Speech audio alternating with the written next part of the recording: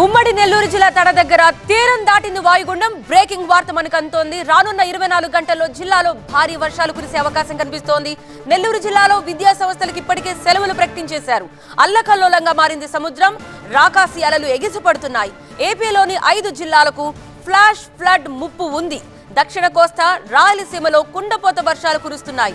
కృష్ణపట్నం వాడరేవు నిజాంపట్నం మచిలీపట్నం పోర్టుల్లో మూడో నెంబర్ ప్రమాద హెచ్చరిక జారీ చేశారు. కాకినాడ గంగవరం విశాఖ కళింగపట్నం పోర్టుల్లో ఒకటో నెంబర్ ప్రమాద హెచ్చరిక జారీ చేశారు.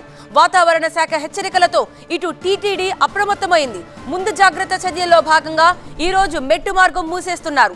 నెల్లూరు సహా పలు జిల్లాల్లో కురుస్తున్న వర్షాలపై సీఎం చంద్రబాబు నాయుడు ఆరా తీస్తున్నారు. కుండపోత వర్షాలు కురుస్తున్నాయి. ఫ్లాష్ ఫ్లడ్స్ వచ్చే అవకాశం ఉన్న నేపథ్యంలో హెచ్చరికలతో అలర్ట్గా ఉండాలని యంత్రాంగానికి ఆదేశాలు జారీ చేశారు సీఎం చంద్రబాబు నాయుడు. సో మీరు బ్రేకింగ్ వార్త చూస్తున్నారు వాయుగుండం తీరం దాటింది.